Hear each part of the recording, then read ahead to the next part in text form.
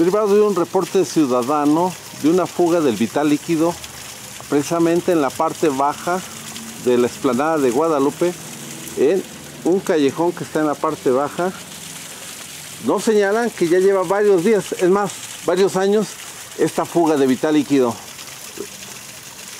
Y hasta el momento han hecho el reporte a la CAPAP y no ha habido respuesta. Entrevistamos a algunas personas y esto fue lo que nos dijeron Pregúntale a mi comadre, ya tiene, les dicen y les dicen que convenga, que compongan y no, se les dice no. Esa agua toda salía aquí, porque ahí este, los dueños pusieron esa manguera y sale aquí. Si no, toda la agua mi marido, el agua la sacaba con cubetas de allá para acá y nunca pueden quitar. El problema es que están los registros ahí y se mete el agua para adentro. ¿Y la, ¿Y esa fuga del vital líquido es la que le está afectando? Esa la afecta, sí. Afecta. ¿Ya lo reportaron? Pues sí, cuando nosotros fuimos a reportar allá abajo, pero pues no, no se arregló nada. ¿Cuántos días lleva esta También fuga? mi comadre han ido allá abajo. ¿Cuántos, ¿Cuántos días lleva esta fuga de agua? No, eso ya redilata. Ya tarda que se sale el agua. Que de los tubos los componen ahora, no sé si es el tanque. Pero el agua está, mire cómo está se llega a caer una persona, se quiebra un brazo o un pie, ¿quién, ¿quién va a responder por ellos? ¿Qué nos puede informar al respecto de esta fuga, de este vital líquido aquí en, en el depósito de Guadalupe, en esta calle? No, pues esto es diario, así ve, diario, día y noche. Anoche, todo el día estuvo regándose charcote de agua. Y luego la quitaron y otra vez en la noche, otra vez. Así ve todo el tiempo. ¿Cuánto tiempo ya lleva así esta fuga de agua? Oh, esta fuga de agua ya tiene más de 50 años. ¿50 años? Sí, mi suegra vivía aquí, ella ya falleció, ya todo, y, y, este, y, ella siempre iba a recursos y nunca hicieron caso. Ahora nosotros hemos ido y tampoco hacen caso. ¿Con quién ha ido? Allá a recursos. ¿Qué le han dicho? Pues que ya van a arreglar y que ya van a subir y que no sé qué tanto. Vienen y ven y se van y es lo mismo. ¿Qué problema dicen que tiene? Pues no sé, dicen que un tubo que, que está Digo porque, a, como me comentas, son cientos y cientos de litros que se están tirando a la calle.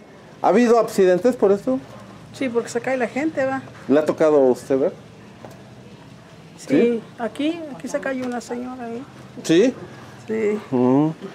¿Y entonces ya lo han reportado? Sí, ya le hemos reportado mucho nosotros, porque a mí se me mete el agua.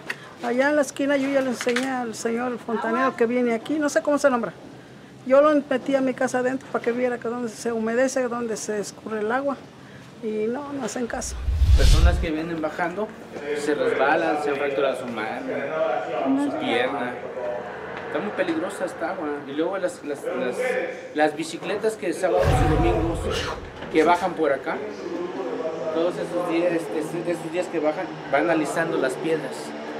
Van analizando las piedras y también combinado con el agua las bicis que, van puliendo las piedras se cometen aptos accidentes. Eso, eso hace que, la gente se resbale, se caiga con el agua constantemente que está saliendo, cayendo, más. Sí, es lo que pasa aquí en este callejón. Y no es de ahorita, ¿eh? ya, ya es de años esto.